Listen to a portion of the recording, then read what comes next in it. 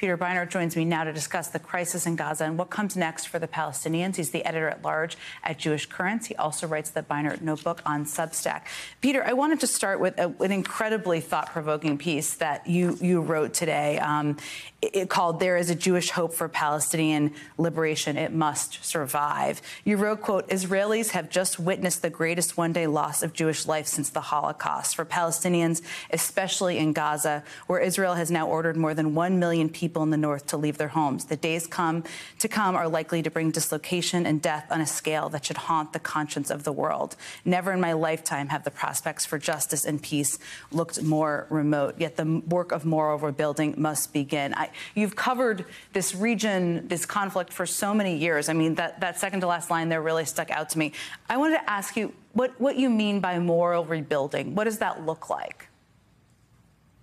What I mean is that Jews and Palestinians who have never been further apart um, and further and, and more enraged and, and, and less able to hear one another than we have been in the last few days need to come together about around the simple principle about that human life, Jewish, Palestinian, is infinitely precious and that our fates are mutually intertwined.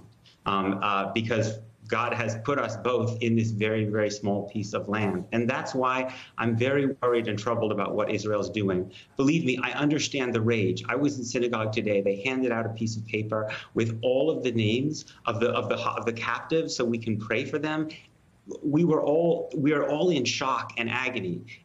We're all in shock and agony. But since but ultimately, since I believe that the fate of Israeli Jews and the fate of Palestinians, including in Gaza, are intertwined, we have to ask ourselves, and the Israeli government should ask itself, in the long term, creating more massive destruction and death and trauma. Even if you can kill a lot of people in Hamas and destroy a lot of weapons, you are also going to produce so many more people who come out of that area with hate in their hearts. Is that really going to make Israeli Jews safe? It's it's everybody I think wants peace, or many people call for it, and you've just mentioned it there. Obviously, many people living in Israel, most people living in Israel, most people living um, in Gaza are, are not uh, they're not representing Hamas. How does this happen though? Because one of the challenges here is the is the government is the the fact that Hamas has such control over the Gaza Strip. I mean, what what is the step toward this? There have been many fits and starts in Middle Middle East peace negotiations the point I tried to make in that piece that you kindly mentioned is that Palestine, this was an act of evil. Um, but Palestinians have tried actions that are ethical. They've tried to, to resist their oppression, and they are oppressed. Israel's own human rights organizations say that Israel is practicing apartheid. And Palestinians have or, tried to organize boycotts and ask for sanctions. And they've tried to appeal to the United Nations and the International Criminal Court. And the United States has played a really big role in shutting that down. My point is if we demand that people resist ethically in the spirit of the civil rights movement, in the spirit of the African National Congress in South Africa, and we do have the right to demand that they that they condemn Hamas and resist ethically, we have to create pathways that people can resist ethically. And when we shut down nonviolent protest, we empower Hamas.